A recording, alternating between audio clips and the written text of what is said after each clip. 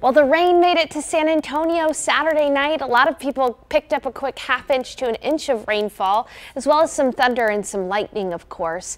Here's a look at where that rain is as of about 11:30 uh, this evening. It's currently weakening and moving south.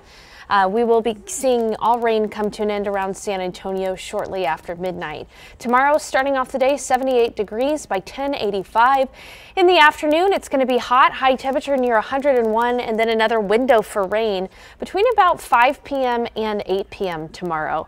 Only 30% coverage. Today, we got lucky with that rain right over San Antonio.